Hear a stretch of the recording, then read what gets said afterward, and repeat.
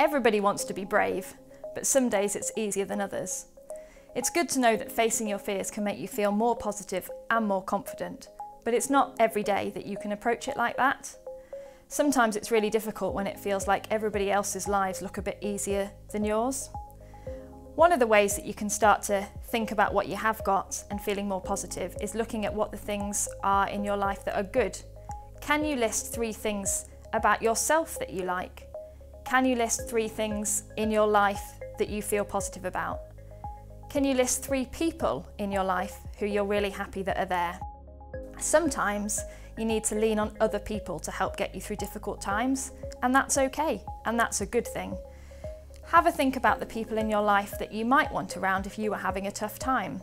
Some people are good to confide in, some people are good to sit next to you when you're feeling upset, some people can come up with really good practical ideas or solutions to cheer you up in bad times. Have a think about who those people are. One of the ideas is to write all the people down in your life into a support tree. Remember to leave some space for the new people that you're going to meet in your life that are going to be really positive and cheerful too.